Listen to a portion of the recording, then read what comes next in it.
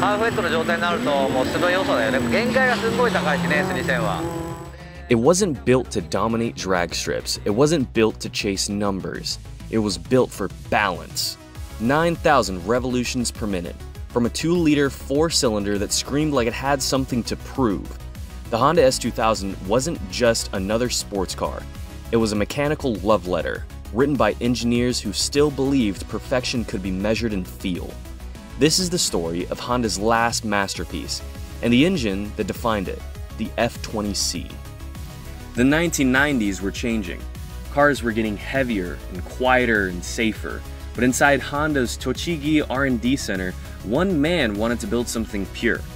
His name was Shigeru Uehara, the same engineer who had led the NSX project a decade earlier. The NSX had made people rethink what a supercar could be precise, usable, reliable. Now, Uehara wanted to prove that same precision could exist in something smaller, lighter, and more raw. But his inspiration didn't come from supercars, it came from Honda's past, from the tiny, screaming roadsters that built the company's reputation in the 1960s the S600 and S800.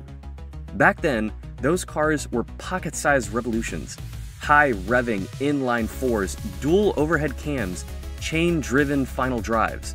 They embodied Soichiro Honda's obsession with racing technology for the road. The S2000 wasn't just a new car, it was a continuation of that dream. A modern S800 reborn through decades of engineering evolution.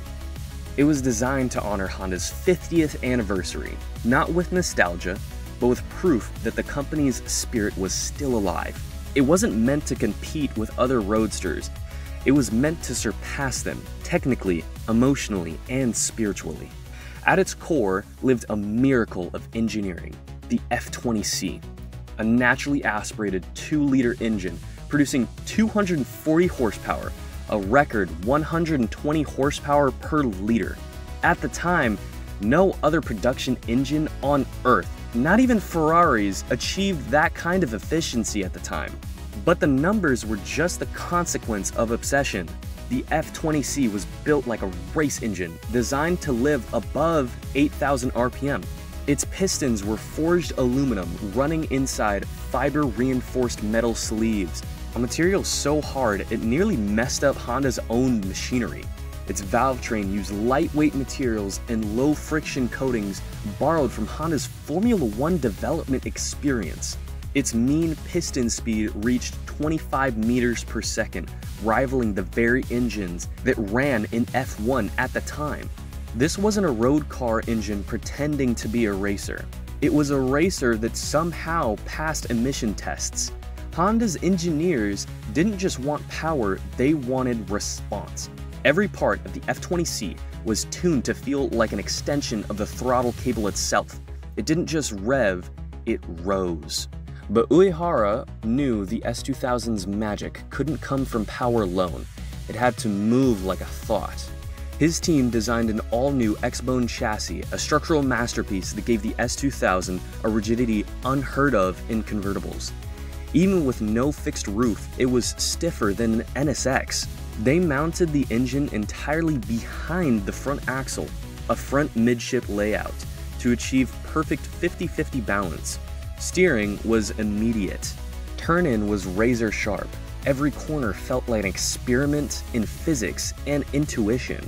And then there was the gearbox, a six speed manual so precise it's still used as a benchmark today. Short throws, mechanical click, perfection resonance, no digital filters, no drive modes. Uehara once said, the car should feel like it's wired directly to your brain. That was the design brief.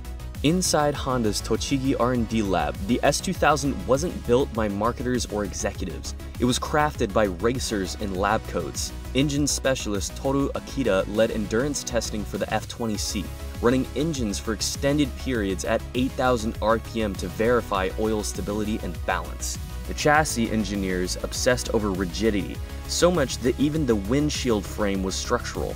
The transmission team hand tuned synchros until the shift lever felt weightless yet deliberate. since all other companies were making economy platforms. I'm sure the executives at Honda were questioning the project's purpose at the time. Like, who's gonna buy this loud, uncompromising two seater with no luxury, no automatic, and no turbo? Uehara's answer was simple real drivers will. He fought to keep the car analog, no stability control, no soft suspension, no compromise. It was built not to please everyone, but to satisfy the few who could feel the difference. When the S2000 launched in 1999, journalists praised its precision and feared it. Its limitations were high, its reactions sharp. Early AP1 models were notorious for their snap oversteer. Critics called it twitchy, enthusiasts called it alive. You don't drive an S2000, you learned it. It punished clumsy inputs, but rewarded precision with ballet-like control. At the edge, it danced. Honda softened the later AP2 version, increasing stroke to 2.2 liters for more torque and dialing down the oversteer. For purists, still argue the original AP1 was the truest form of the idea, raw, surgical, and untamed. Few engines feel so alive. Even today, over two decades later, the F20C remains one of the most celebrated naturally aspirated engines ever built. It wasn't just fast, it was flawless in character. A power band that built like a symphony. VTEC engagement that hit like an awakening. Taught an entire generation what high revving mastery feels like. When the S2000 ended production in 2009, it marked the close of Honda's analog era, the end of cars built purely for connection. But the lineage is undeniable, from the S600 and S800 to the S2000, to the hearts of the drivers who still chase Redline. It's the same story told in three generations precision, purity, and passion. The F20C wasn't the loudest or the most powerful, but it may have been the last engine built for the soul, not the spreadsheet. In a world of turbochargers and touchscreens, it remains a reminder. Sometimes engineering perfection doesn't come from adding more, it comes from removing everything that gets in the way of feel. This was Honda's last stand for purity, a symphony of balance, precision, and passion, written in aluminum and oil. This was the F20C, this was the S2000. This was Honda's masterpiece. What forgotten legends do you want us to cover next? Let us know down in the comments. We're always digging for the overlooked and the obscure. Until next time, stay fast, stay curious, and never stop driving. はっちゃんのノーマルが徐々に差を広げていく